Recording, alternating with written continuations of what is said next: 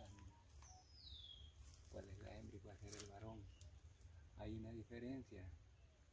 Una es más ancha y otra más delgada.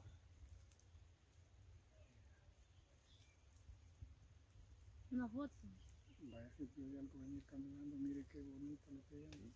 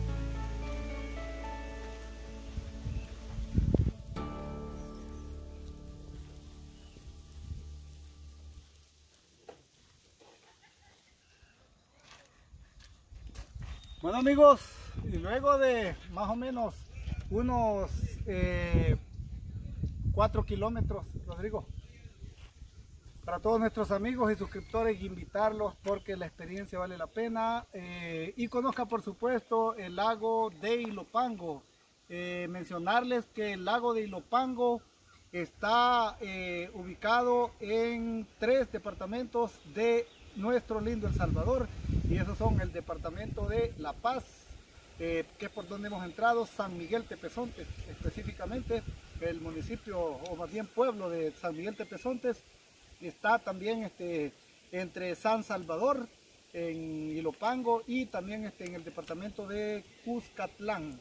Tres departamentos del Salvador que comparten este lago que es eh, prácticamente un cráter volcánico. Imagínense nada más un cráter volcánico de esta magnitud, qué grande pudo haber sido el volcán eh, y por supuesto está activo.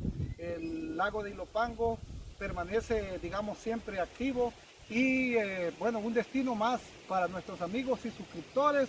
Los invitamos para, si viene usted a El Salvador, a nuestros amigos en los Estados Unidos, no se olvide de venir a El Salvador y por supuesto a disfrutar al lago de Ilopango. Somos Tano 503, salvadoreño del campo.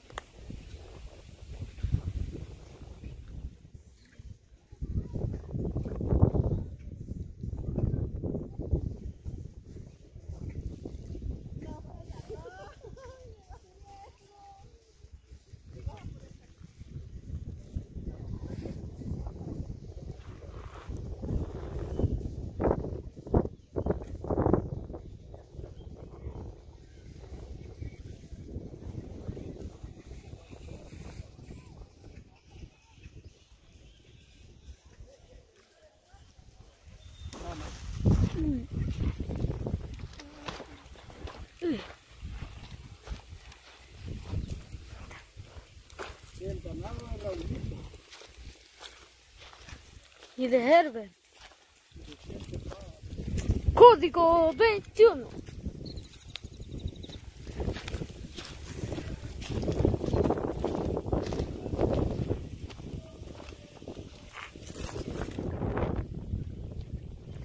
Saluditos a nuestros suscriptores de Tano 503, salvadoreño del campo. Y estamos precisamente en el lago de Y lo pango. Ilopango, precisamente con el circuitillo de Barahona.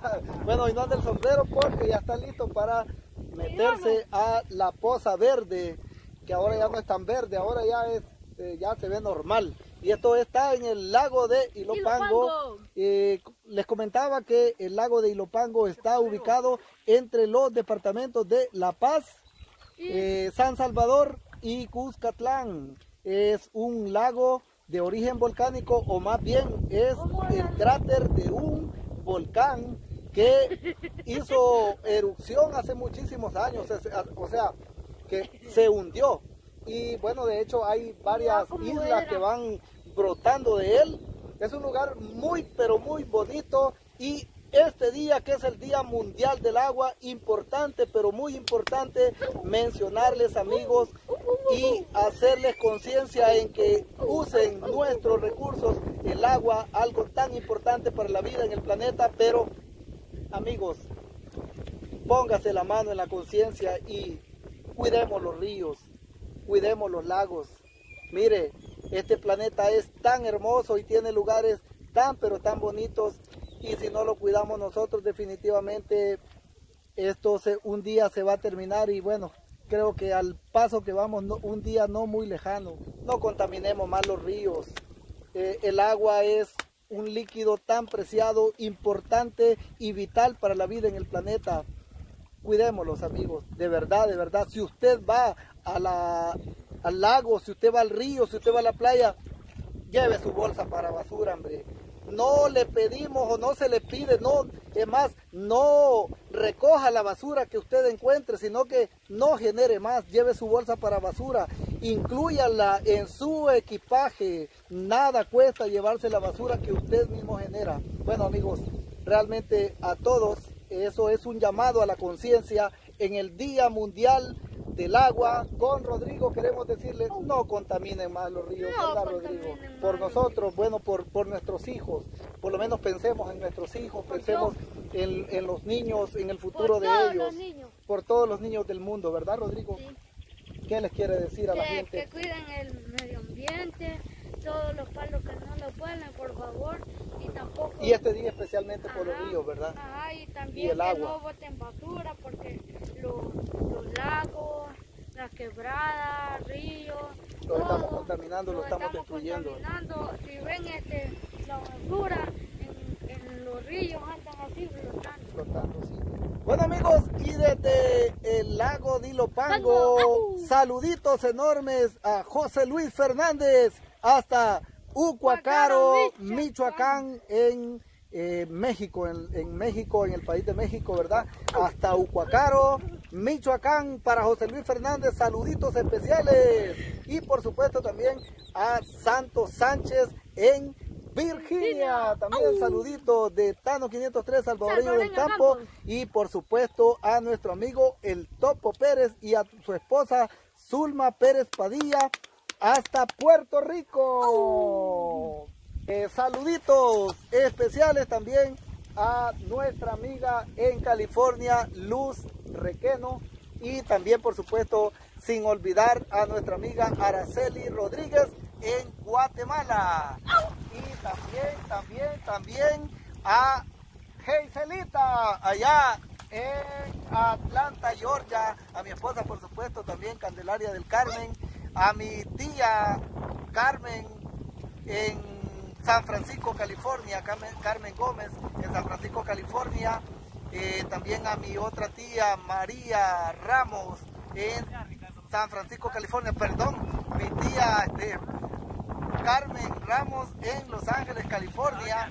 Y por, ejemplo, por supuesto también enormes saludos y abrazos enormes también para mi esposa, para mi hija, para Alicia Orellana en Houston, Texas. Y por supuesto también para todos nuestros amigos en Canadá, en España, en Italia y en cualquier parte del mundo. Y continuamos.